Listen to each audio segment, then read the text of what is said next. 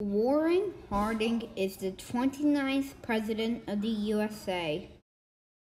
Warren G. Harding's Vice President is Calvin Coolidge. Warren G. Harding's president's term was 1921 to 1923. In my opinion, Warren Harding's the worst president, in my opinion. Warren Harding died in 1923 his vice president, Calvin Coolidge, became president.